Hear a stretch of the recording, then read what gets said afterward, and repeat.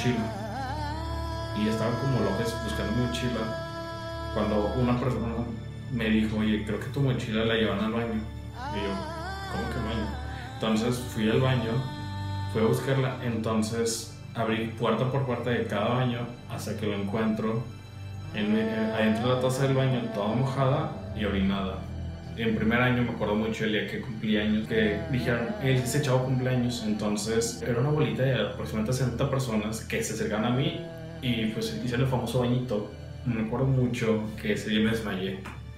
Ese día me dieron un mal golpe en la cabeza, terminé desmayado, no sabía qué pasaba.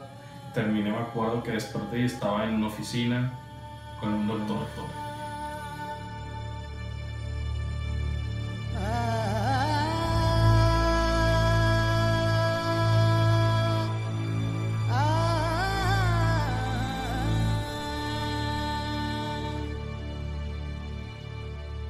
Yo, yo sufrí bullying en la primaria. al, principio era normal, me decían de palabras y, yo a veces sí me sentía mal, me decían como a veces retrasado mental. Una vez me, me habían tirado al, este, al piso. A veces la maestra sí hacía algo, pero los, te, te amenazaban los, los niños.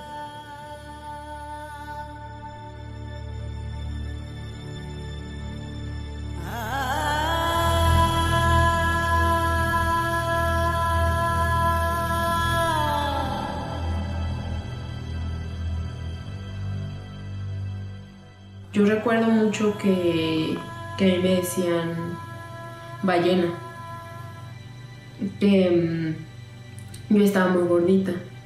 Mm, recuerdo que siempre le contaba a mi tía, a una tía que le decía que de nuevo me habían dicho ballena, que estaba muy gorda y que pues quería hacer algo.